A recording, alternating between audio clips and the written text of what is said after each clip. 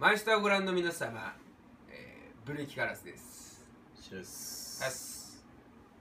い。やーね、ねえ。まあちょっと、あんまメジャー出ないけどさ、うこういう機会ということで、ネタを見せてくれって言われて、んああ言われちゃったね。うん。やっぱね。まあそんないきなり言われてもって感じなんだけどさ、ねいきなり言われてもって感じよ。うん。正直ね。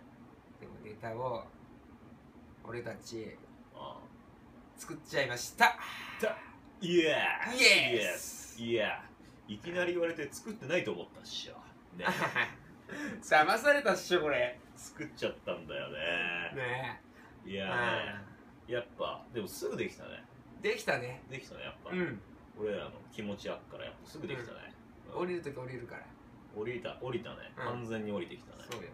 いやまあ今回のネタ、うん。なんつうか俺の心から紡ぎ出される言葉。うそれを強く否定する。できたね。んできたね。できたね。俺はあオリジナル。自分の言葉しか使わない。おうん使用禁止。いいやいや。決まったね、ういえこれで俺らこのネタで。チャラで。劇場バティオス。全部制覇してやろうと思うんで。